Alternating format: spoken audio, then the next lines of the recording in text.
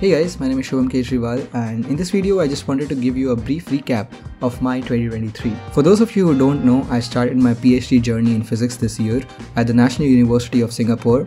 I'm originally from Delhi and I never traveled abroad before this.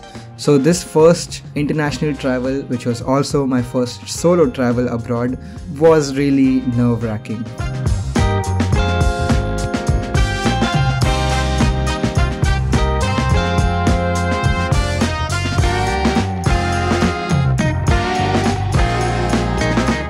Interestingly, I also got to visit Italy within the six months of coming to Singapore, and although it was a work related visit, so I didn't get to explore much, I did get to see a lot of amazing landscape and I met some of the smartest people I know, so I think it was well worth it.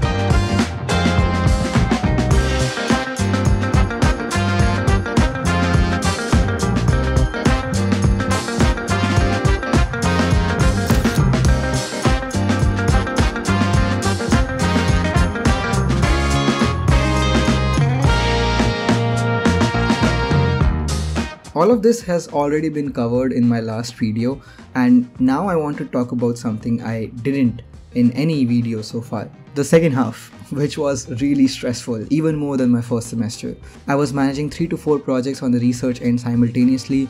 I was doing one course on advanced quantum mechanics. I was doing two teaching duties. The only break that I got was this visit to Malaysia that I took with my friends uh, during the end of the semester and I'm so glad I took it otherwise I would have been really burnt out by the time semester would have ended. The best part was it felt like I truly earned this vacation because I have been working so hard for the last 6 to 8 months only visiting places for work or just visiting home for one week at a time but this was something different. This was, in its truest sense, my first international vacation trip, and uh, I enjoyed every single part of it.